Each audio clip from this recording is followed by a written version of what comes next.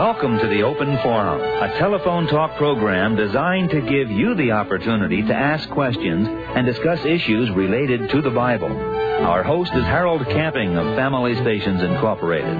The phone number is 1 800 322 5385. That's 1 800 322 5385. When you call, allow the phone to keep ringing. Your call will be answered when it is time for you to be on the air. When your call is taken, please be ready to turn your volume down. Our phone number is 1 800 322 5385. Now we present Open Forum with our host and Bible teacher, Harold Camping.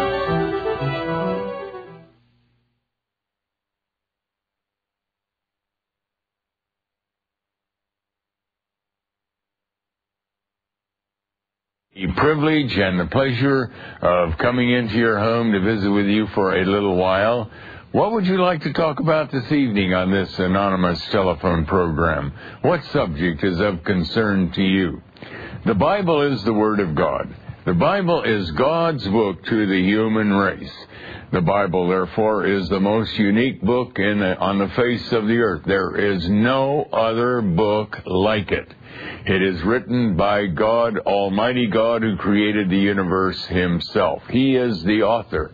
Holy men of old spoke as God the Holy Spirit moved them, and the Holy Spirit is eternal God Himself. Therefore, we are so privileged it is such a magnificent fact that we can use this book, this magnificent book, the Bible, as the authority, as the reference book, as the resource book for this program. So that anytime uh, there is a subject that is brought up, we, if possible, will relate it to the Bible, and the Bible speaks to an enormous number of subjects that uh, we humans are intensely interested in. And if we can learn something from the Bible, then we have absolute truth. There is just uh, it's just an incredible fact that we're able to have such a book as a resource book for this program. Now, before we take our first call from our telephone lines, we have a listener in Holland uh, the Netherlands, who is uh, actually an Iraqi. He writes in the Arabic language, and this has been translated into our language. And uh, one question that he raises is, "I am one of the sinners.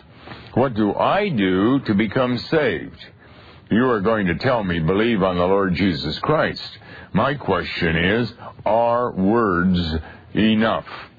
Well, you know, that's exactly the question that the jailer of Philippi asked the Apostle Paul. Sirs, what must I do to become saved? And the answer was exactly as this uh, Iraqi individual has, has expected believe on the Lord Jesus Christ. Well, now comes the big question. How does that all work out? Tell me, what is the mechanism? How, how can I begin to believe? We have to search the Bible to get more information. The Bible is its own interpreter. And to our utter dismay, we find, at least at first we are dismayed, we find that uh, we begin as those who are in complete rebellion against God. Romans 3 says, There is none that seeketh after God. No, not one. More than that, the Bible tells us we're dead. God uses a, a, the figure of a valley of dry bones. And if you can uh, tell a valley of dry bones, you have to believe on the Lord Jesus. And if you expect any reaction from them, then you are out of your mind because no valley of dry bones, no person who is that dead can begin to obey the command to believe on the Lord Jesus.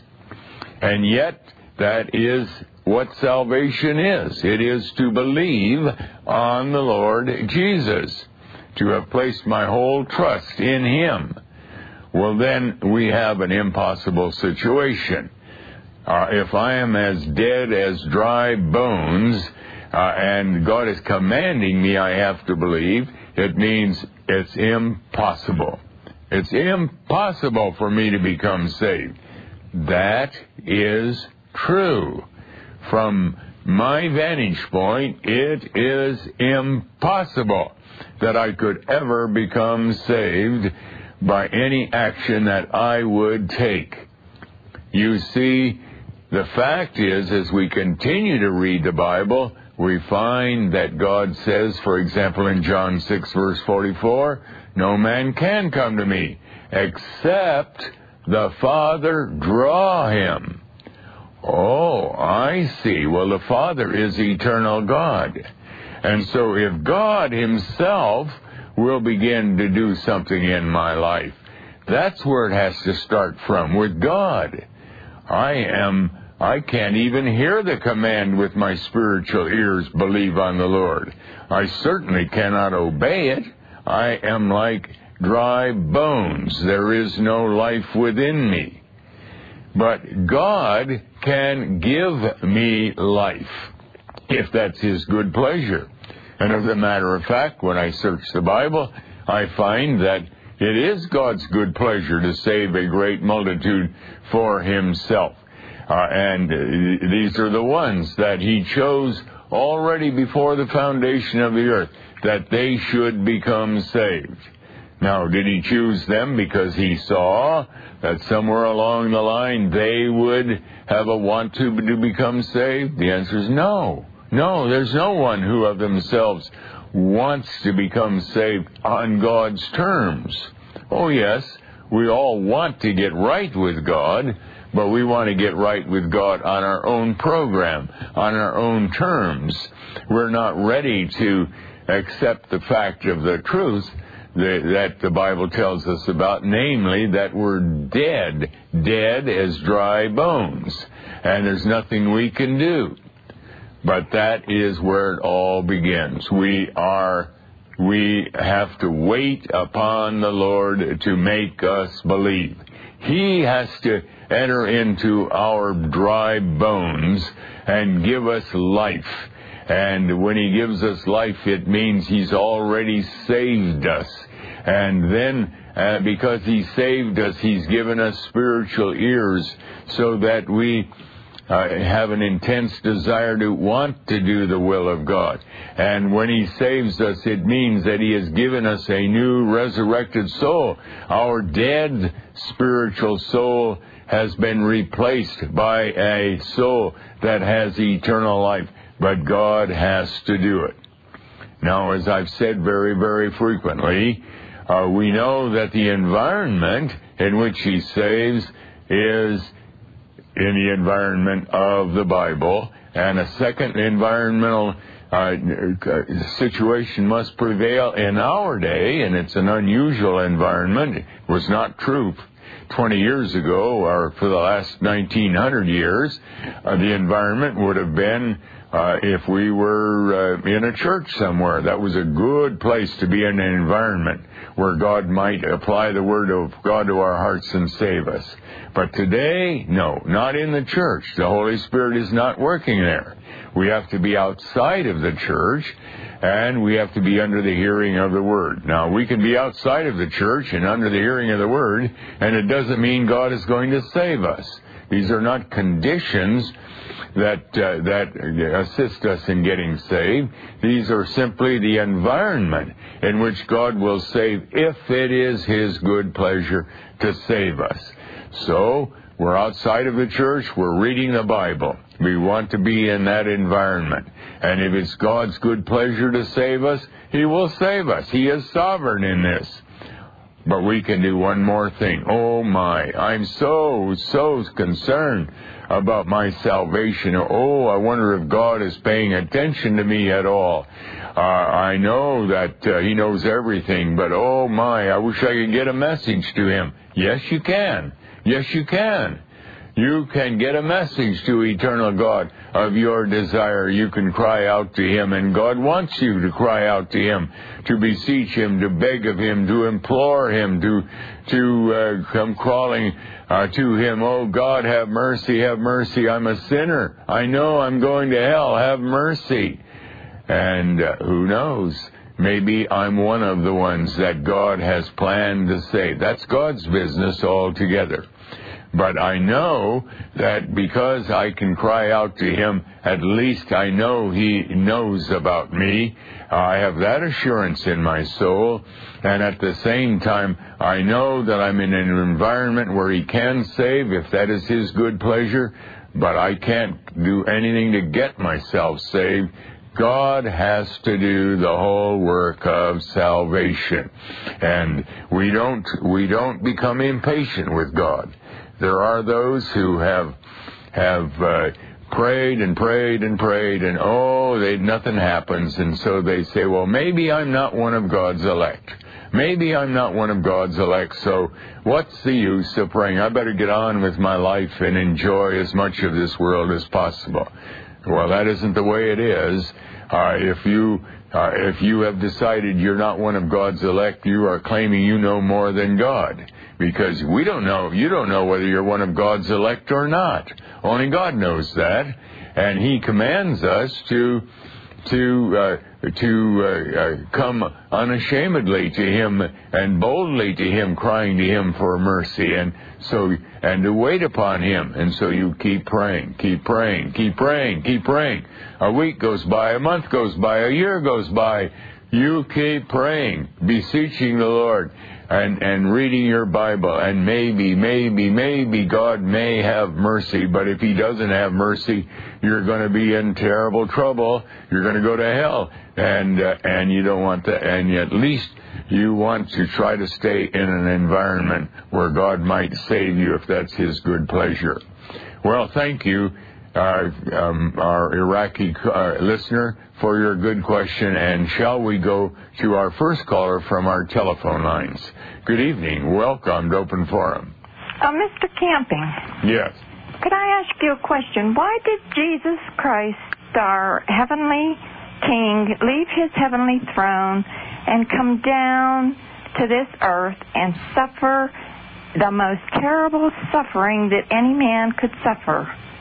Why, did, he, do, do that? that? Because you see, he came to claim a people for himself. God gave certain humans to Christ. All, Jesus says, All that the Father giveth me will come to me. But unfortunately, all those humans that were given to Christ by the Father are dripping with guilt. They have sins. And the law of God declares that they have to be punished eternally for eternally in hell as payment for their sins. So uh, uh, they are given to Christ, but he can't have them because they have to go to hell to pay for their sins. The only way he can have them for his own is if he himself would take the punishment for them. And that's exactly what Christ did. All these that were given to him by the Father, they their sins were laid upon the Lord Jesus.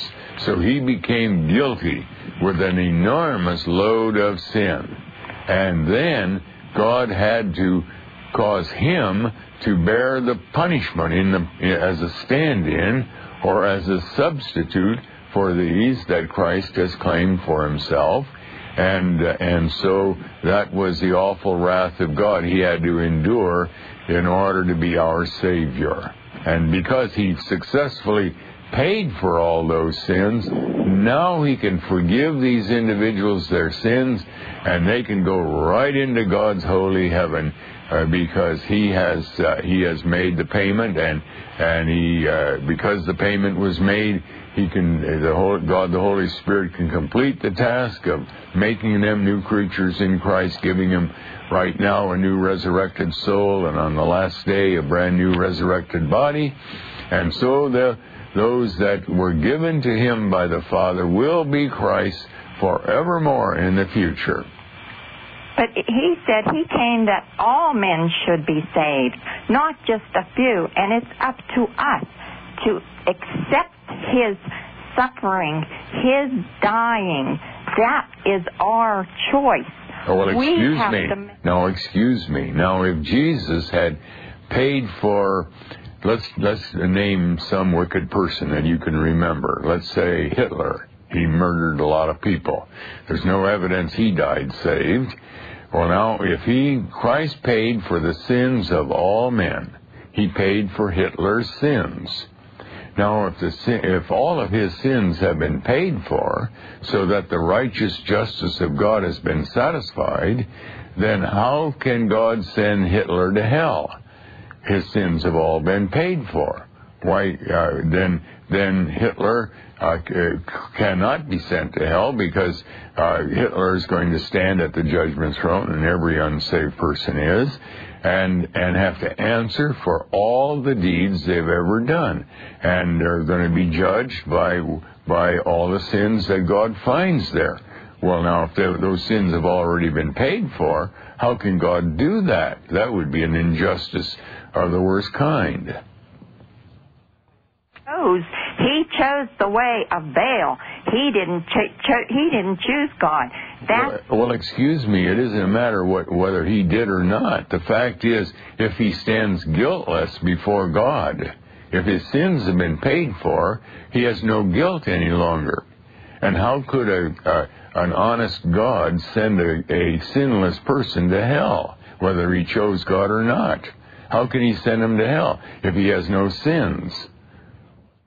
He wasn't innocent. Christ paid for his sins, but he chose to to go in and to go into sin, and he chose the way well, of the devil. And well, excuse me. Uh, uh, uh, any any sin, when Christ paid for somebody's sins, how many sins did he pay for for that person?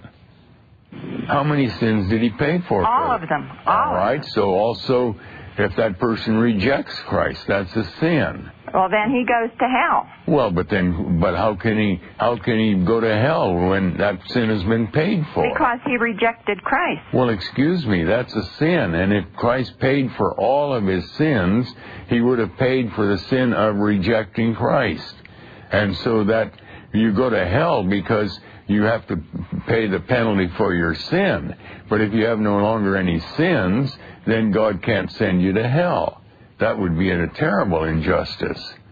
Well, when you when he when you are first born, you're born into this world a sinner. And then you have to either receive Christ or reject him. Well, excuse me. but he has me. already paid for your sins. Now it's up, now you have that choice.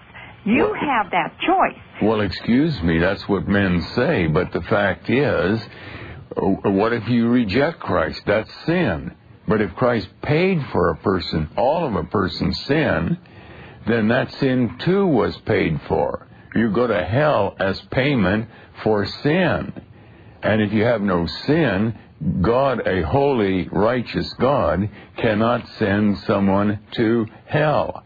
But the fact is, they're not going to hell because they reject Christ. They're going to hell because they have a whole lot of sin. That's why we read in Revelation chapter 20. Revelation chapter 20. And it says there, I saw a great white throne, and him that sat on it, from whose face the earth and the heaven fled away. And I saw the dead, small and great, stand before God, and the books were opened and the dead were judged out of those things which were written in the books according to their works. In other words, if Hitler stands there, he's not going to be guilty of rejecting Christ. He's going to be guilty of, of, a, of a million sins that he's committed. He has to pay for all those sins and and and he has to pay for those sins because Christ has not paid for those sins. If Christ paid for somebody's sins, then God cannot send that person to hell. That is the, the idea that Christ paid for everybody's sins is not the Bible's teaching at all. That's man's teaching. That's what men have concocted out of their out of their minds uh, uh, because that sets the stage for the next wrong teaching that now we can reach out and accept Christ. But the fact is that that uh, uh, Christ only paid for the sins of those that He planned to save. Uh, we we read, for example, in Revelation chapter 13. In Revelation 13, there God says in uh, in uh, in verse uh, 8, and all that dwell upon the earth shall worship him, that is, worshiping the beast, that's Satan, whose names are not written in the book of the life of the Lamb slain from the foundation of the world. Their names aren't written there. They never were written there. And on the other hand, in Ephesians chapter 1, God says in verse 3, Blessed be the God and Father of our Lord Jesus Christ, who hath blessed us with all spiritual blessings in heavenly places in Christ, according as he hath chosen us in him. He hath chosen us, that is, he elected certain ones before the foundation of the world, that we should be holy and without blame before him in love. Now, these are the ones that are written in the Lamb's Book of Life, the ones that he chose. And, and these are the ones that he saves. That's why Jesus said in John 6, verse 37, All that the Father giveth me will come to me. And he said in, and in Matthew 1, the angel told uh, uh, Joseph, Thou shalt call his name Jesus, for he will save his people from their sins. Who are his people? All that the Father giveth me. In other words, that whole doctrine, that whole teaching of universal atonement that Christ paid for the sins of everyone has no biblical basis. It's out of the mind of men. It is the kind of a, a teaching that is reprehensible to God. It's really blaspheming what God has set forth. Well, we have to accept Him. And if we don't accept Him, then we go to hell. Well, We- excuse me, but how can a dead man accept him?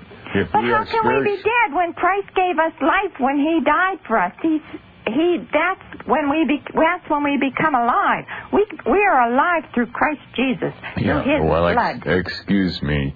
Uh, you, uh, you, what are you, what are you going to do with with Romans three, verse ten? There's none that seeketh after him, no, not one. Now, how do you answer that? There's none that seeketh after him, no, not one. And you can't answer it by what your church says. You have to answer it by the Bible. The Bible says very clearly, there is none that seeketh after him, no, not one. If I read Ephesians 2, it describes someone who did become saved. And in verse 1 it says, where in, in verse, uh, in, uh, in verse 2, or no, verse 1, and you hath he made alive who were dead in trespasses and sins. Now, if we're dead, how much life is within us? None. None. Now it goes on to describe this. Wherein in time past, now remember, I'm reading the Bible. I'm not reading a church confession. I'm not reading what my church believes or somebody else's church believes. I'm reading what God is saying. These are God's words, and therefore they are absolutely true and trustworthy. Where in time past ye walked according to the course of this world, according to the prince of the power of the air, the spirit that now worketh in the children of disobedience, among whom also we all had our conduct in times past in the lusts of our flesh, fulfilling the desires of the flesh and of the mind, and were by nature the children of wrath, even as others. Now he's talking about someone who did become saved, and he's describing, God is describing how dead we were before we became saved. We were we were under the rule of Satan, and we were we were uh, uh, uh, by nature the children of wrath. And then it describes how we got saved, and it says nothing at all about accepting Christ. It says in verse four, the next verse, but God, who is rich in mercy, for His great love wherewith He loved us, even when we were dead in sins, hath made us alive. Notice how God is rubbing that in. We're dead. He had to make us alive. We're dead. Uh, uh, he hath made us alive together with Christ by grace. Ye have been saved and hath been raised up together. Uh, you see, grace is a gift of, of God that that uh, He did all the work in getting us saved. And that means that this whole idea of a do it yourself gospel where we reach out and accept Him has no biblical validation. And I'm so glad we're able to talk about this together because I worry about all the people who think they're saved because they accepted Christ. Well, when did they become born again? When did they receive a brand new resurrected soul? And how how do they know whether all of their sins have been paid for? Because Christ only paid for the ones that he planned to save. And so I'm afraid that at Judgment Day there are going to be millions of people lined up saying, Lord, Lord, just like we read in Matthew 7, we did many mighty things, mighty works in your name. We prophesied in your name, and the Lord will say, Depart from me, I never knew you. Depart from me that work, work iniquity. And so now is the time to face this awful truth that, and, and it's imperative that we face it. Did Christ save me, or did I get myself saved? Do I, do I, am I reading the Bible correctly, or am I listening to my church and I've ended up with a gospel where, where it's man-made, we're just uh, actually trying to join up with Christ, and, and uh, maybe Christ hasn't paid for my sins at all. Well, I, let me tell you, I don't go to church, Mr. Camping. But I read the Bible and I know that the Lord in his word says that we that you just read that scripture. That's exactly what I've been trying to tell you. We were dead in trespasses and sin until we accepted Jesus Christ and his dying and his well suffering excuse on the me. The bible says none that you're not you say you're listening to the bible but you're not listening to the bible. You claim you're listening to the bible. You'd like to claim you're listening to the bible but then test it. Test it. This is what the Bible says in verse 10 of Romans 3. There is none righteous, no, not one. There is none that understandeth. There is none that seeketh after God. They're all gone out of the way. Now you read the Bible. That's what that's that's God saying. What does he mean by that? If you're going to say you read the Bible, well then all right, then read this. Read this and think about this. There's none that seeketh after God, no not one. So, how are you going to get around that one? You've got to listen to what the Bible says, not what your m- mind has taught you or what somebody else has taught you. And, and incidentally, the position you hold is, is widely held in church after church after church. You're not, you didn't come up to this all by yourself out of the Bible. That's widely held all, everywhere but it is it is unfortunately a salvation program that will is not bringing salvation. It's a man-made idea that is not based on the scriptures. But thank you for calling and sharing.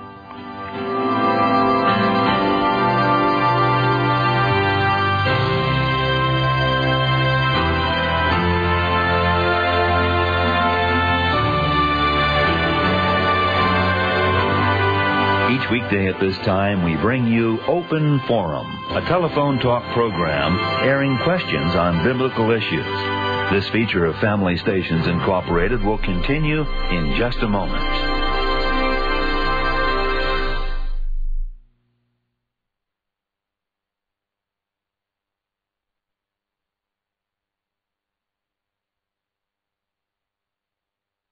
In Job 41:11, the Lord asks Job, who hath prevented me that I should repay him? Whatsoever is under the whole heaven is mine. Yes, everything that is under heaven belongs to our God. So why is it that we should bring him offerings? Well, it's because he chooses to use the offerings of his people for our own good. It's a blessing to our souls to give him the honor, worship, glory, and praise that is due his name. In short, it's a privilege to give a little bit back to him in thanks for the many and great blessings that he has showered on us. Perhaps you would like to offer him a gift through this listener supported ministry. Write and help us this month. Write Family Radio, Oakland, California, 94621. That's Family Radio, Oakland, California, 94621. We continue with more of the open forum. You are invited to call in and ask questions or discuss issues that are related to the Bible. Our number is 1 800 322 5385. That's 1 800 322 5385. When your call goes on the air, please be ready to turn your volume down. Here is our host and Bible teacher, Harold Camping. We're continuing with the Open Forum program, and shall we take our next call, please? Good evening. Welcome to Open Forum. Mr. Camping. Yes. Hi. Um, I was wondering, uh, you're truly saved, right?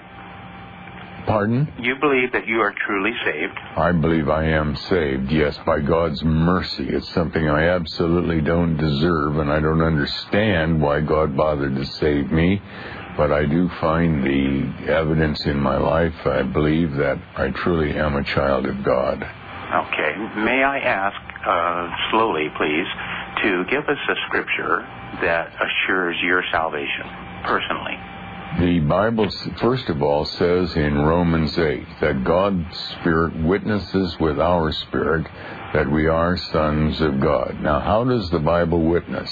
Or how does the Holy Spirit witness?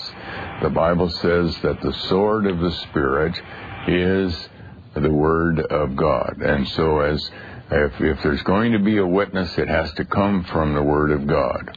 In 1 John chapter 2, verse 3, God says, if we say we know Him, and in that context, uh, to say we know Him means that we have become a child of God. Uh, if we say we know him, we will keep his commandments. Now, what are his commandments? The whole Bible. In other words, in the life of the true believer, there is an earnest, ongoing desire to do the will of God. He is, we're only happy when we're doing the will of God. Or to say it the other way, if we begin to uh, move towards sin, there is uh, unhappiness and difficulty in our life because uh, we we are we are. Uh, uh, the Bible says that when we become saved, we receive a new resurrected soul in which we never want to sin again. And uh, that's why he can say, if uh, if we say we know him, we will keep his commandments. In our new resurrected soul, which is an integral part of our personality, we have an intense desire to do the will of God that translates into actually doing the will of God. A real desire to walk very humbly, a real desire to recognize that is anything good in me is only because of God's mercy. I don't deserve anything. A real desire to make sure that every doctrine I hold will be as faithful to the Word of God as possible. Okay, and I truly can understand that, but and, and the verses that I'm looking for from you is are the verses that you use to um, assure your salvation. I mean, honestly, you know that you cannot keep every commandment of the Lord. I cannot. No man can. Well, but you see, as I indicated, the, the Word of God is the sword of the Spirit. And as we read the Bible, and we find that we we are first of all we're unafraid to look at each, anything and everything. We can look at hell right in the in the eye. We can look at the wrath of God right in the eye. In other words, we we the whole Word of God is is uh, is. Uh, we want to understand everything that we can about anything and everything, and uh, and uh, you uh, and when you find that you have a real love for the word of God and desire the word of God, these are the kind of evidences that God gives us. And uh, and if you're not saved, you can't understand this. Of course, if you're not saved, of course you can't understand it because you've never had that kind of an experience. Point then, I can accept that I am truly saved, even though I still sin even on a daily basis, I commit sin. Well, uh, but you see, when you say I still sin, we can use that as a catch all phrase, but the fact is that if we find that we are uh, living with a besetting sin. It just stays with us and stays with us, a, a particular sin. And, uh, and we, we are not tr- particularly troubled about it. After all, everybody has a little bit of sin in their life. Then we have to ask the fair question, am I really saved? Because when we're really saved, we're not happy with that besetting sin. We, we, we, uh, uh, we, we feel uh, troubled because in our new resurrected soul, which is an integral part of our personality, we don't want to sin. And, and, or to say it the other way, if we truly are a child of God, we can look back a few years at a time when we were sure we were saved already, and, and there ought to be progress in our life. There ought to be a growing in grace so that we have a greater desire to walk humbly before God and to uh, uh, be this, uh, a humble servant of the Lord and to do His will than we had even a few years ago. There should be a growing in grace, and and the Bible simply says. God's Spirit witnesses with our spirit. Now, I don't know how God God uh, uh, gives us that that gives you begins to give you that security and that settled feeling that I am a child of God. That's God's business, but I can tell you it is it, it is there. It is present there. I appreciate you sharing that. Uh, one more, if I may. Uh, Matthew 12, uh, 30 through 32, uh, speaks of blaspheme of the Holy Spirit, in which I have, uh, uh, through studies, come to believe that that means that we're actually rejecting the Holy Spirit. We're not accepting God's plan of salvation. We're not accepting the Lord Jesus Christ. If that were the case, then there would be countless people that are have crossed the line and they couldn't there's no possibility of salvation because blasphemy of the holy spirit was a sin for which there was no forgiveness wonderfully that is not the case we can reject Christ a hundred times, and if we're still living and it's still the day of salvation, uh, then the, the God can still save us. Uh, he he came to Old Testament Israel again and again, uh, and uh, like for example, he said in Isaiah 55, "Seek ye the Lord while he may be found; call ye upon him while he is near. Let the wicked forsake his way, and the unrighteous man his path, and let him return unto the Lord, for he will abundantly pardon." And that's he's saying that to people who have rejected Christ again and again. Uh, the fact is that that the, the blasphemy against the Holy Spirit was a very specific sin. We read in uh, Mark 3, the language is almost the same as in Matthew, it's just a little bit plainer. He says in verse 22 of Mark 3, the scribes which came down from Jerusalem said, He, the Christ, hath Beelzebub, and by the prince of the devils casteth he out devils. In other words, they were claiming that Christ was under the power of Satan. And then Jesus answered them and said in verse 28, All sins shall be forgiven unto the sons of men and blasphemies, wherewith soever they shall blaspheme. But he that shall blaspheme against the Holy Ghost hath never forgiveness. And then he explained what that sin was in verse 30, the next verse because they said, He, that is Christ, hath an unclean spirit. Now, these scribes, uh, they were the religious rulers, and they were convinced that Christ was under the power of Satan rather than against under the power of God Himself, and uh, consequently, they wanted him killed. They, the last thing they wanted that he might be their savior. They, they, they repudiated Christ altogether. He was under the power of Satan. And Christ is simply saying, yes, and you've crossed over the line. There's no, no possibility that you'll, you'll ever become saved. I have never met an individual who has blasphemed the Holy Spirit by God's mercy uh, that's a very, very rare sin. But uh, I've, and I've never met anybody or talked with anybody that I believe would have committed that sin. I have uh, met many, many people that uh, just flatly reject uh, the birth and uh, the death and the resurrection of our Lord Jesus. But as many long people. as as long as they're living, how do you know whether they're one of the God's elect? Can God save them? Of course He can. God does the saving. They have not they have not come to the point where they believe that Christ was under the power of Satan, so that they absolutely don't want Christ as their Savior. And if they had come to that point, yes, then they have committed blasphemy against the Holy Spirit. But by God, uh, God is very merciful, and uh, and uh, you know uh, there are people who uh, I meet people I met. Uh, recently, I met an individual who says, "Man, five years ago, I was such a such a vicious uh, sinner so, and so much in rebellion against God, and then mysteriously, I began to find out I love the Bible and and I'm a changed man. God just did something in my life." It is so beautiful. Thank you. Thank, Thank you very for much. calling and sharing. And shall we take our next call, please? Welcome to Open Forum. Oh, hello, Mr. Camping. Yeah. Um, regarding uh, your statements about uh, concerning uh, comparing Scripture with Scripture, would you turn to uh, Second Corinthians uh, chapter three?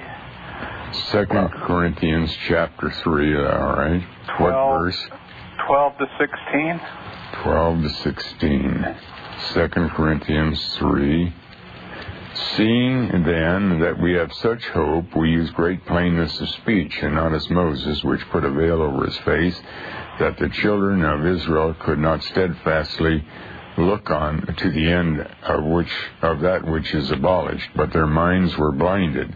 For until this day remaineth the same veil untaken away in the reading of the Old Testament, which veil is done away in Christ. But even unto this day, when Moses is read, the veil is upon their heart.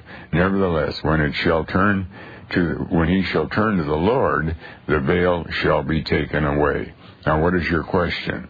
Now, St. Paul, uh, from what I gather, refuses to read uh, merely for the literal meaning, but finds uh, after the Christ event a way of reading beyond the veil to the spiritual truths of the text. In other words, um, instead of uh, mo- reading uh, the scriptures as Moses would have read it, uh, we have to read it in light of the incarnation.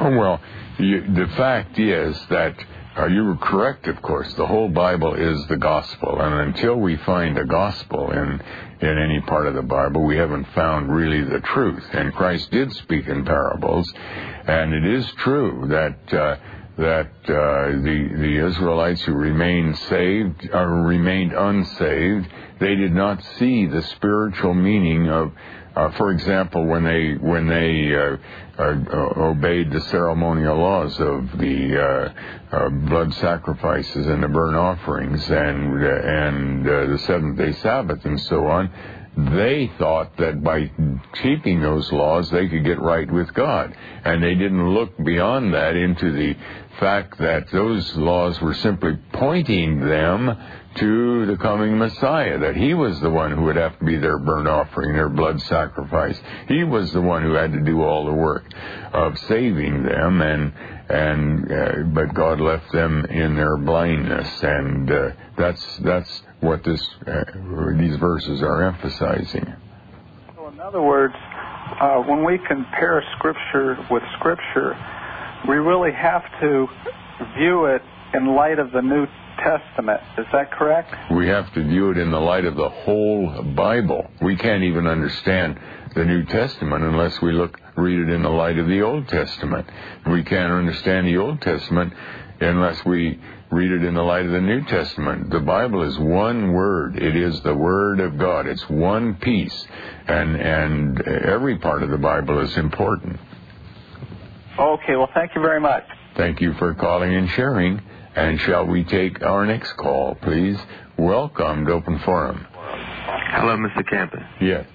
Yeah, um, I hear you talking about um, um, the idea or the teaching that um, that if you're praying for salvation and reading the Bible, that um, you you still don't know if God's going to save you or not. That is correct. Because Could you? Hello. yes. Yeah, just could you just talk about that? Well, yeah, you see, God has uh, has named those whom He plans to save. Now, everybody wants to get right with God. Everyone does because man was created in the image of God. Even the atheist who says there is no God uh, the reason he's desperately trying to be an atheist is because he doesn't want to face the fact that he knows deep in his heart there is a God. And so he tries to get rid of that by saying there is no God.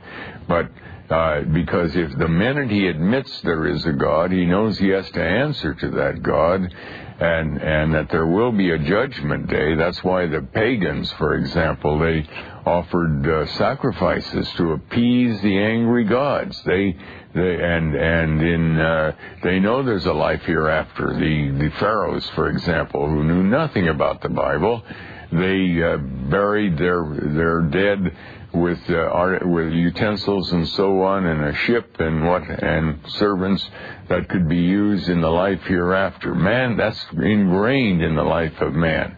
He knows there is a God. He knows there's a life after death of some kind, and and so he's got to figure out somehow uh, how he can face that. And uh, this uh, this is. Uh, uh, it is the Bible, only the Bible, that gives us the solution as to how we can face God uh, with our sins.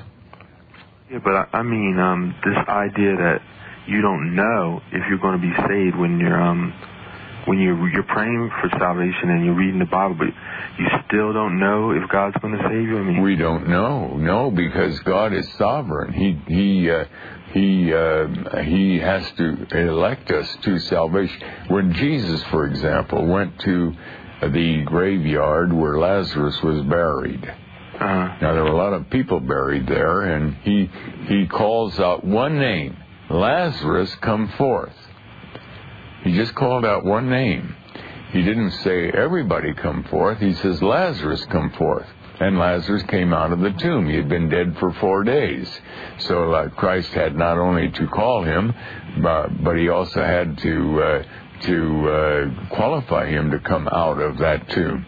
And this now, actually, the Bible says the gospel call goes out, but only the chosen ones will hear the call and respond to the call, and they'll only do so because Christ is is in the business of saving that individual. And so we, that's that's what that's what faith is is that that our trust is all together in in Christ. He has to do it. He has to do it all. We can't do any of it. Well, we just have to wait on Him if that's His good pleasure.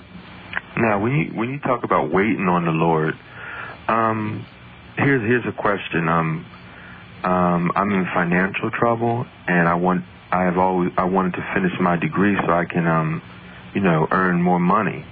Is that what does the Bible say about that? Somebody who's really interested in salvation and reading the Bible and praying. I mean, is that a good thing to do? Knowing that money's the root of all evil and all that? Or? Well, you know, the the Bible says, uh, uh, "Don't be anxious about anything." This is Philippians chapter four, verse six and seven. Don't be anxious about anything, but with prayer and supplication, with thanksgiving, make your requests known to the Lord. All right, so you pray. First of all, you pray for wisdom. You you are you are troubled. You're anxious. You're you're nervous about your situation. You're you're you've run out of money. You've had a, a financial setback. First of all, you pray for wisdom. Oh Lord, oh Lord, I can't do it. Yeah, would you please give me wisdom? Secondly, oh Lord, help me to be content. If it's your if it's your good plan that I have to remain poor, so so be it. So be it. Help me to be content with whatever your plan might be.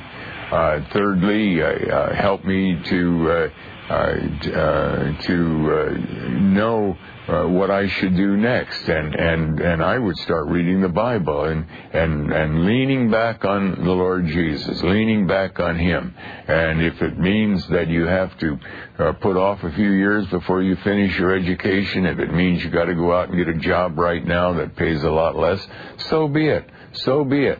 After all.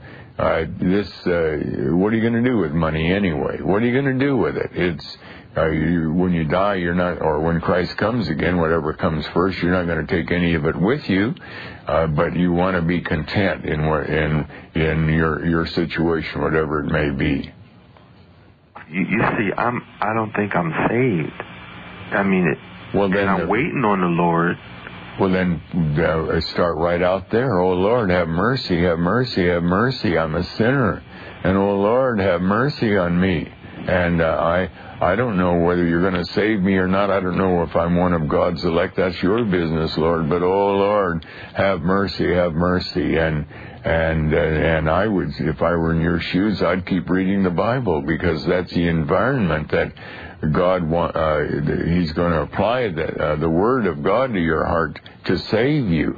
And uh, and maybe he'll save you, maybe he won't. Maybe he'll have you crying out to him for a long time, and then he'll save you. But that's his business. You have to leave that to him. And and but you but you can pour out your soul to him, and and uh, at least you know you you you you have his attention. But see, that's my whole point. I am praying. I am reading the Bible. So keep doing it. Well, but I'm saying, can I go to college still, or is, you know? Well, what you you mean if you go to college you can't you can't pray anymore? You can't read the Bible anymore? Can't people save people who are going to college? Come, you can't God save people who are going to college? Of course He can. He can He can save us in any kind of a situation. It isn't either or. I, I'm I'm going to cry out to God or I'm going to go to college. It's both. You always the the crying out to God and the reading the Bible is simply the environment in which you are living as you uh, as you try to work your way through this world. All right. Thank you for calling and sharing. And shall we take our next call, please? Welcome to Open Forum. Hello? Yes. Good evening. Yeah, this is, uh, uh well, anyhow, uh, I have a question. Our pastor in the pulpit um, said that you said that believers should leave the church, that they shouldn't they shouldn't belong to churches. And I thought I'd call you up and uh, find out exactly what you said, because he didn't quote or anything. So he might have been saying something that was like secondhand information or something like that. Well, this, unfortunately, that's what the Bible teaches, that the church age has come to an end. God had, uh, had two uh, seasons for the New Testament. There was the season of the early rain that uh, brought in a Pentecostal harvest, that is, that is the church age. And when the work of the church has been finished, that and that coincides with the time of the beginning of the great tribulation.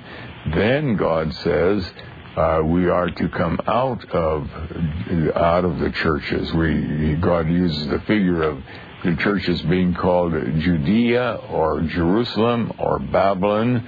They're all synonyms for the churches that exist in our day and we're to come out of them and we're to uh, be outside to send the gospel out. And and after after the because the work of the church has been finished god has used it for over 1900 years as the instrument to get the gospel out into the world and there have been millions of people who have become saved. But but then the bible and says that after this i saw a great multitude which no man can number that became saved and they came uh, became saved during this time of great tribulation. But the but the Bible but the uh, during the church age, the true believers were stones, living stones or precious stones in the temple of God. The churches were called the temple of God. But now God says that there would not be one stone left upon another that will not be thrown down. And uh, that means that God no longer uh, is uh, is uh, working in the churches. It's the the true believers have either already been driven out, or as they learn about this, they will and search the scriptures. God will lay it on their hearts that they have to get out. Twenty-four. Is that is, is that what's happening there? Is that the uh, the Uh, Great I'm so- I'm sorry. Repeat that. Matthew uh, 24. 24, yes. Verse, verse 21 There will be great tribulation, such as this world has never known. And then God describes the character of that tribulation in verse 24. False prophets and false Christs will arise with signs and wonders to lead astray, if possible, even the elect.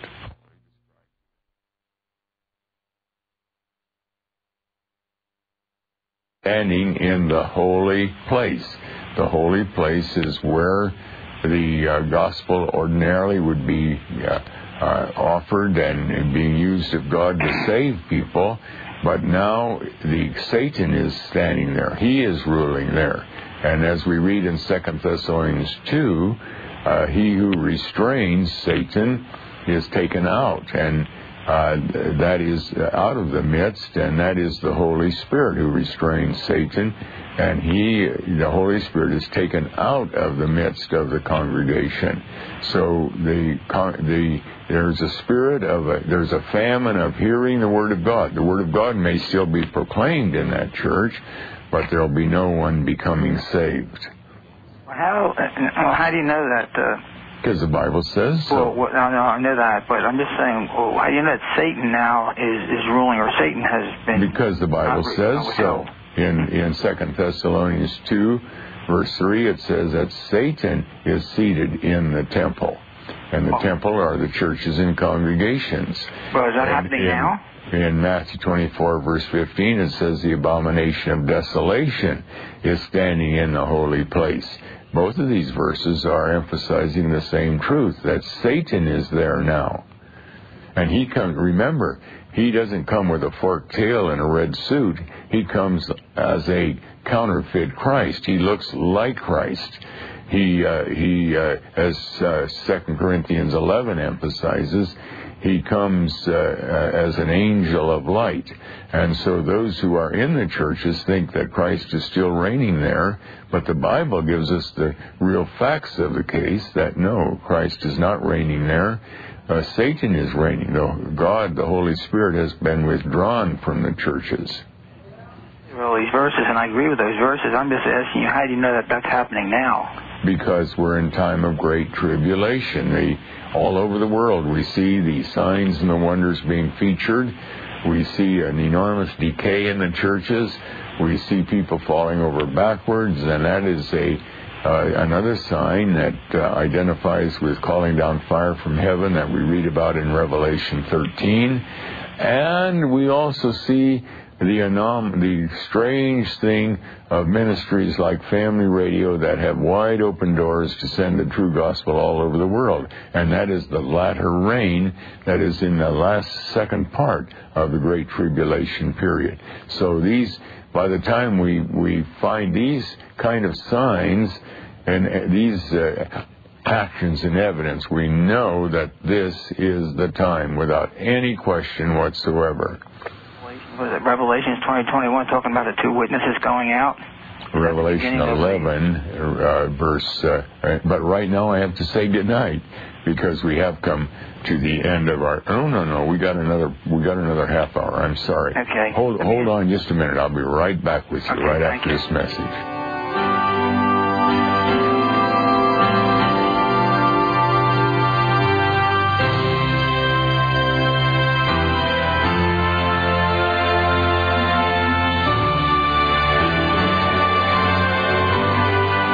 Weekday at this time, we bring you Open Forum, a telephone talk program airing questions on biblical issues. This feature of Family Stations Incorporated will continue in just a moment.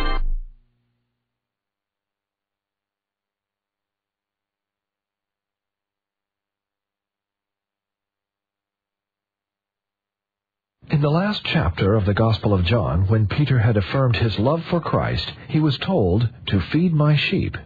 All those who love the Lord have a similar obligation to minister to others. The book Feed My Sheep by Harold Camping explores the scriptures to discover in detail the Christian's responsibility to the world around him. While we know we need to bring the gospel to the lost, what does it mean for us to subdue the earth in today's world? To explore this and many other related questions, ask for a free copy of Feed My Sheep by calling 1 800 543 1495. That's 1 800 543 1495. Or request it on the web at familyradio.com.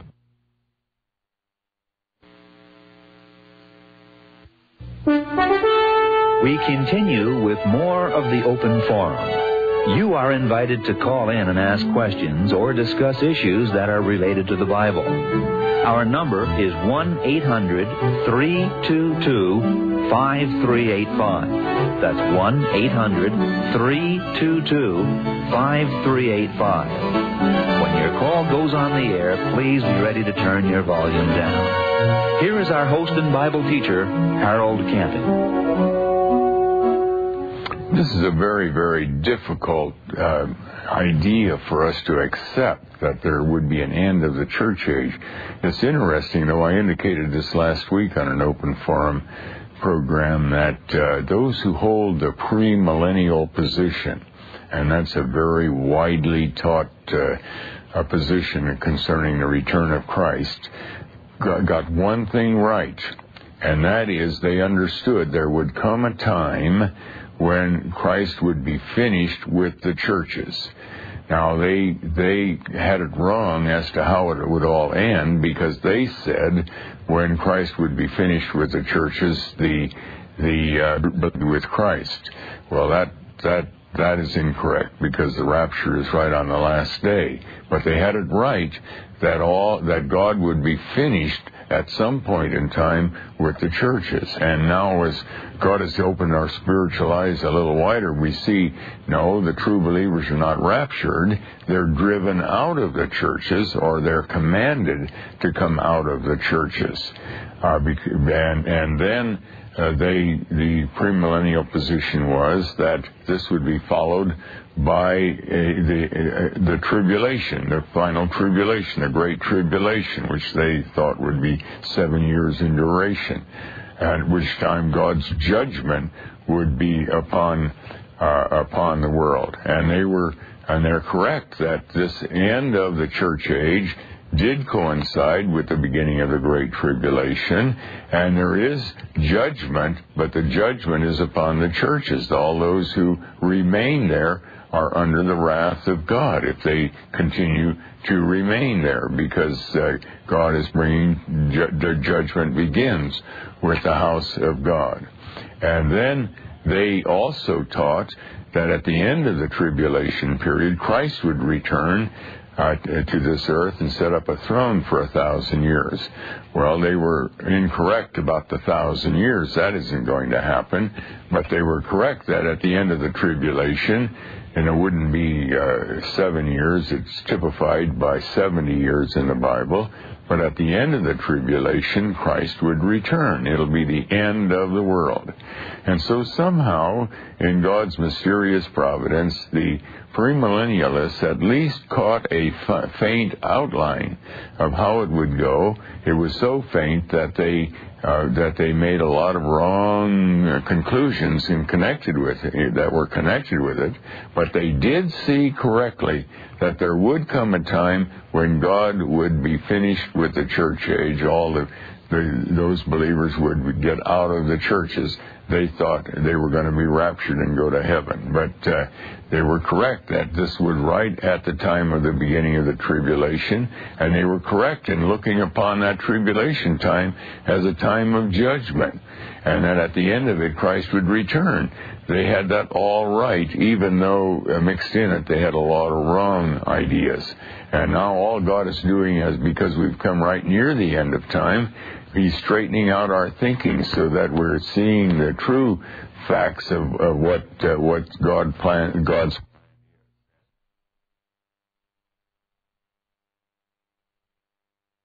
uh, we uh, God is doing.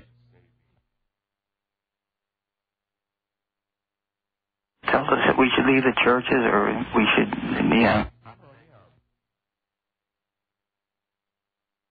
Um, in uh, Luke chapter 21, we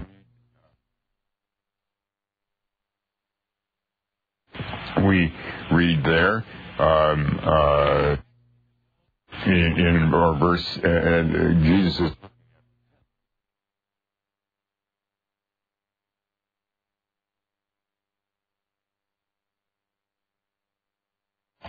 Uh, we read that in uh, 1 Corinthians chapter 3. And in that temple, he, uh, we read in 1 Corinthians 3, it's built with two kinds of building materials. There's gold, silver, and precious stones. They would be the true believers. Mm-hmm. And they all have a place in that temple. And then there is wood, hay, stubble. They are the ones who are not true believers, and they, of course, will come under hellfire on the last day. But now, uh, and and so every believer is a precious stone, or a, in First Peter two, he calls us living stones, lively stones. Uh, we are we are a stone in the temple of God, uh, and, and and we all have our place. But here in Luke 21, verse 6, he says, as he looks at this temple that typified the churches and congregations, uh, uh, there, the time, the days will come in which there shall not be left one stone upon another that shall not be thrown down. That means there'll be no more stones in place in the temple, no more believers, true believers, in the churches. They'll all be thrown out, or or will have to come out. And uh, he he says this not only in Luke 20.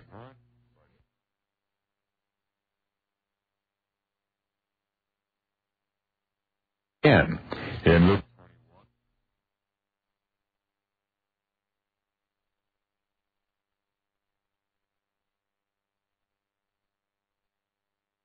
Four teaches that there's a Jerusalem above that consists of the true believers. We are seated with Christ in the heavenlies, even though we're living out our life here on this earth.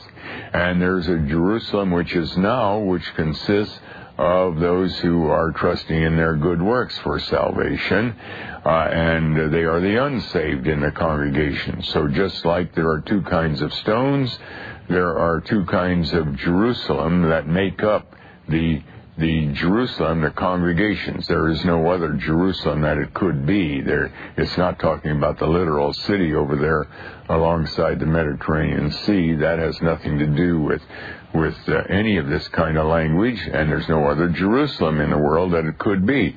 It is the churches and the congregations. They are Jerusalem. And he says, when ye, in verse 20, and when ye shall see Jerusalem compassed with armies, then know that the desolation thereof is nigh. And uh, at the beginning of the tribulation, God uh, indicates that Satan has been loosed and that he uh, is marshaling uh, all of his forces to try to conquer Christ once and for all, and he's allowed to enter into the congregations and take his seat and rule there. He is the abomination of desolation that is standing there. Then it says in verse 21 of Luke 21, Then let them which are in Judea Flee to the mountains, and let them which are in the midst of her, that is Jerusalem, depart out, and let not them that are in the countries enter thereinto. And so there, uh, when we see Jerusalem, not when we experience, but when we see and when we look around, and you go into any city and go from church to church, and you'll find that the greatest number of them uh, by far greater, a major proportion of them are interested in signs and wonders and and uh, all kinds of things that you know they have nothing to do with the true gospel. Or again, we can look at uh, uh, Revelation 18, where God speaks about a Babylon uh, the uh, harlot. And when we examine that language carefully, the only Babylon God can have in view are the churches and congregations, because he says, Come out of her. True, the whole world, in a sense, is Babylon, but we can't come out of her. We are ambassadors of Christ in this world. We have to remain here. But there is a Babylon that is now particularly called Babylon because the king of Babylon is Satan and he now is ruling in the churches. He has taken his seat in the temple. And, uh, and so now that has become spiritual Babylon. And, and, and God says in verse 4 of Revelation 18, Come out of her, my people, that ye be not partakers of her sins, and that ye receive not of her plagues. Now that's plain language. If we stay there, we're going to end up under the judgment of God. Question. Um, the rich man and Lazarus. Uh, I heard a message where the fellow said that this was not a parable, that this was a real life event. And I find that difficult to believe because here we have heaven and hell and people in it and they're talking to each other. Yeah, you're correct. It's not a parable. Uh, I mean, it's not a historical event at all. If it were, it would have all kinds of contradictions. Yeah. And it is simply a parable in which God is illustrating a great number of spiritual realities that that uh, come through very clearly, but it has nothing to do with a, a, historical event. It would then it would be a mass of contradictions. Yeah, he said that parables don't have people's names in them. So that's a pure conclusion, uh, pure, uh, uh, just an idea from the man, That's from right. the mind of, of a theologian. Nowhere in the Bible is there a statement that a That's parable right. cannot have a man's name. yeah, that's what I told them. I said that's contrived by man. There's no Yeah. limitation on what parables can be. Right, right. All right, thanks a lot, Mr. Camping. Thank you for calling and sharing. And shall we take our next call, please? Welcome to Open Forum. Yeah, I have a question regarding the unpardonable sin. Yes. Um, what if somebody is like a devil worshiper? Is that like selling your soul to the devil? No, no. You could be a devil worshiper. In fact, every unsaved person is a devil worshiper. Their soul is sold out to the devil because he is their master. He he rules over them. And but Christ has come to to plunder Satan's house. When we become saved, he yanks us out of Satan's house, and we're no we're taken out of the dominion of darkness, as we read in Colossians 1:13, and we're translated into the kingdom of the Lord Jesus Christ. Okay, so there's still hope. That's what you're saying. Absolutely, someone could be a devil worshiper all his life, and there's still hope that he might become a believer. Thank you for calling and sharing. And shall we take our next call, please? Welcome to Open Forum. Hello. Hello. How you doing? Very well, thank you. I was calling. Um, I've heard your um, radio program a few times before, and I'm curious to know why is it you uh, spend more time defending what sounds to be a dead religion than actually proclaiming the gospel? Uh, I'm sorry, would you repeat that, please? Yes, I was saying, I wonder why is it you.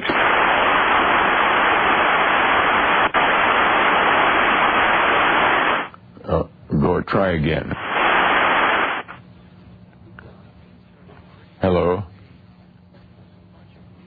Well, we lost that caller. Um, I'm sorry, I didn't quite get it. Str- maybe he can try to call back. Uh, could we go to our next caller, please? Good evening. Welcome to Open Forum. Yes. Could you explain Isaiah chapter 47, that I- first verse? Isaiah 47, verse 1. Let's look at that. Isaiah 47.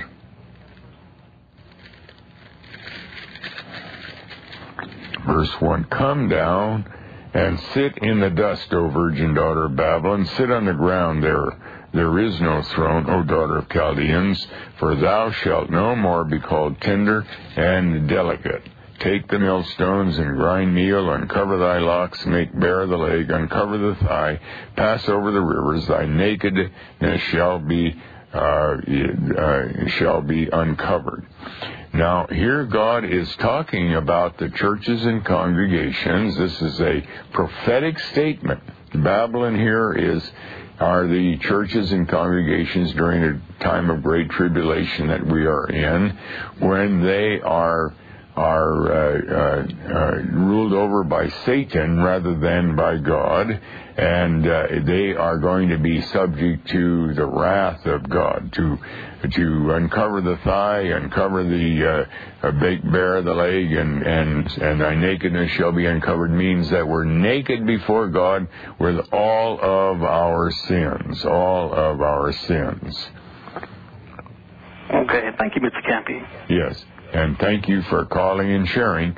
And shall we take our next call, please? Welcome to Open Forum. Yes, uh, uh, President Kevin, would you please comment on 1 Corinthians chapter, excuse me, 1 Corinthians chapter 15, verses 31 and 34, and put special emphasis on dying minute by minute? Yeah, 1 Corinthians 15, verse 31 and 34. I protest by your rejoicing which I have in Christ Jesus our Lord, I die daily. If after the manner of men I have fought with beasts at Ephesus, what advantageth it me if the dead rise not? Let us eat and drink, for tomorrow we die. Be not deceived. Evil communications corrupt good manners. Awake to righteousness and sin not, for some have not the knowledge of God. I speak this to your shame. Now you see, in this chapter, Uh, God is discussing through the Apostle Paul the fact that there is a resurrection of our bodies on the last day if we are true believers. And if there were no resurrection, then why not eat, drink, and be merry? What what good is it to try to live the Christian life, uh, to fight the beasts of Ephesus? Uh, is uh, some were thrown into the arena uh, for the sake of Christ, and and why not just deny Christ? Why not keep my life? Why do I have to suffer like this? But the fact is the that I'm ready to die daily. In other words, I'm, I deny myself again and again because I'm looking for a wonderful resurrection of my body on the last day. I'm looking for the fact that I know also that when I die in my soul existence, where I've already experienced the resurrection, I'm going to live and reign with Christ in heaven. Yes, uh, uh, I heard some say to die hourly, but I've heard some say you should die every minute, every minute, all the time. Well, uh, we we we uh, when we become saved, and the Apostle Paul is talking about someone who has become saved. He has eternal life in his soul, and he's living in a dead body. But what he means here that he is, it has to mean that he's ready to die physically for the sake of Christ. And no matter what comes along, he denies himself moment by moment for the sake of the following Christ. But thank you for calling and sharing. And shall we take our next call, please? Welcome to Open Forum. Uh, Brother Camping, I have a question regarding uh, marriage situation. Now, uh, I realize that when you're considering marriage, I think the individual must, one, okay, this might be silly for some people out there, but uh, just as a, a note, um, opposite sex is the main thing. i have been noticing, like I went to one church and they're all into this same-sex marriage, so just want to throw that out. That's an abomination to God. But anyway, considering everyone knows that, um, the individual must not have been married before, and if they were married, the spouse should not be alive. Second, individual is of an equally yoked background. Third, should be, of course, mutual interest and love. However, considering all of this, all these uh, particular qualities, uh, if one person isn't in love but simply has a godly love with physical attraction, should they still get married and, and then allow God to create the in love feeling with the other partner, or should the marriage not be done? Well, we don't. If we're a child of God, we don't enter into a marriage blindly. We know that uh, uh, the husband is commanded in Ephesians five. A husband, love your wives as Christ loved the church and laid his life down for it. In other words, it isn't uh, maybe at the moment of, of uh, as he's contemplating, should I marry this person who wants to marry me? And other, uh, uh, we certainly are of the same mind spiritually, and she has not been divorced, and I have not been divorced, and so we're qualified to marry each other. And I'm just not that romantically uh, uh, ready for all of this. But the fact is, as I read the Bible, that I am to love my wife as Christ loved the church. Can I see that as a command that I will want to obey and I'm going to be praying the Lord before I get married? Oh Lord, can I can I live with that? Can you uh, can you uh, can that develop in my life? And if I'm not ready to love her as Christ loved the church, that is, uh, lay down my life for so that it'll be the very best for her, then I better not get married. Also, just to clarify, so it's not a matter of uh, so much an in love feeling as it is that ability to love as Christ loved the church, which is more of uh, being patient, tolerant, kind, um, despite not having that in love feeling. Is that what you're saying? Well, but see that in love feeling uh, that that's not finally the the uh, that romance that that romantic feeling uh, that sometimes is called almost almost could be called an infatuation or an erotic feeling. That's because you make me feel so good. That can go away very quickly. Once uh, once the honeymoon is over and the rigors of, of face paying the bills and taking care of two babies that have already been born or early on, uh, life can get very difficult, and all that romantic love is is is uh, is hardly noticed anymore. Now, am I ready to continue to love my wife as Christ loved the church and want the very best for her? And uh, and I, she is my wife. She is somebody I have to look out for, and she comes ahead of me when I think about uh, my desires might be, and uh, that that that uh, that is uh, that kind of love is what is going to count in the marriage, not that romantic love that that started out. Okay, that's an excellent answer. And also, considering that answer, uh, and in light of the church age coming to an end, does it make any sense to marry today? And and and if you do marry, does it make any sense also to have kids, considering this world is well, you know, we read in, in Jeremiah 29 when Israel was going to go into Babylon, that is the captives, and, and God gave them a command, and I think that that applies to us today. In other words, in, in a real sense, it's business as usual. He says in, uh, in, uh, in, uh, uh, Jeremiah chapter 29, uh, to those who were carried away captive, build ye houses, and dwell in them, and plant gardens, and eat the fruit of them. Take ye wives, and beget sons and daughters, and take wives for your sons, and give your daughters to husbands, that they may bear sons and daughters, that ye may be increased there and not diminished. And seek the peace of the city, whither I have caused you to be carried away captives, and pray unto the Lord for it. For in the peace thereof shall ye have peace. Now, you talk about bearing children. Maybe there are some elect that still have to come to existence through this marriage of yours, and you don't know. Leave that with the Lord. That's also excellent. One, just one last one. Uh, considering, yeah, the, the individual decides they do want to get married, where and who would officiate the whole marriage situation? What would how well, that going? In, in our country, I can't speak for other countries, but in our country, there are only two things required to have an official marriage. One is you have to have a marriage license, and secondly, you have to have someone who is licensed to marry marry you. It can be a justice of the peace, a judge, a ship's captain, uh, and so on. That uh, anyone who has the license to marry. Now, if you do get married, you normally we try to have a very spiritual uh, uh, time of it. We we come together with our friends and we maybe have someone. It doesn't have to be a preacher at all. It can be uh, anybody uh, uh, who is uh, able to speak about the Word of God to, that can can use this as an opportunity to bring the gospel to those who are assembled. Uh, the re- the re- reception can be a time of singing spiritual songs, and in other words, uh, the, it doesn't require the church or some elders or deacons or a pastor to make that a very spiritual uh, time uh, when the two are married. And thank you for calling and sharing. And shall we take our next call, please? Welcome to Open Forum. Hello, uh, Brother Camping. Yes. Um, my question is this. When Jesus was conceived by the Holy Spirit, was Mary's egg used?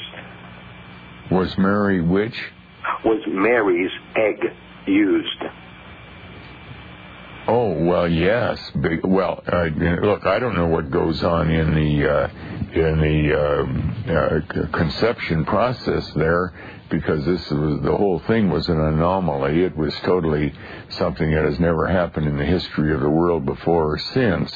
But we do know that the Father uh, that that the Lord Jesus Christ, who is eternal God, effectively took up residence in the womb of of Mary, and that God Himself was uh, the Holy Spirit is spoken of as the Father, and that the that Mary gave God a human nature. That uh, no question at all. So that He uh, that that he uh, certainly, when he was born, he must have looked facially uh, somewhat like Mary. He would have had some of the same characteristics, I'm sure. Okay, thank you very much. Because he became a real human being, not a pseudo human being. He became a human being, and uh, and he got that from Mary 100%. There was no uh, no physical father. He had a grandfather, uh, a human, who was be the father of Mary, and so on, uh, because he came from the line of David. But uh, but in so far as uh, but as far as his Godhead, no, no, she had nothing to do with it. She was not the mother of God in any sense whatsoever. But shall we take our next call, please? Good evening. Welcome to Open Forum. Yes, Brother Harold. James 2, verse 24. James 2, verse 24.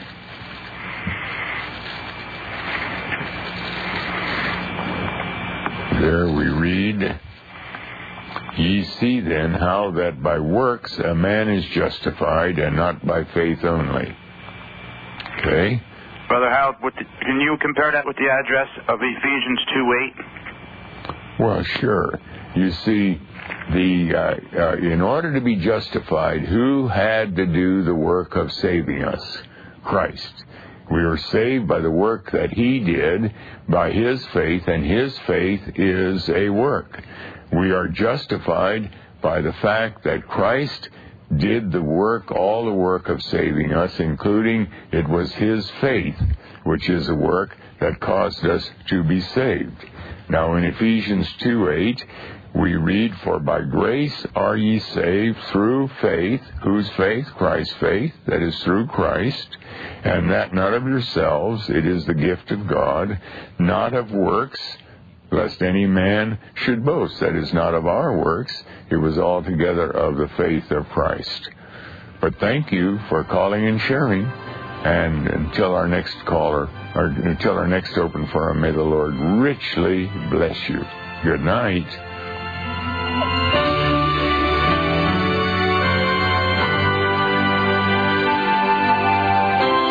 Family Stations Incorporated has featured Open Forum, a telephone talk program of biblical discussion with host Harold Camping.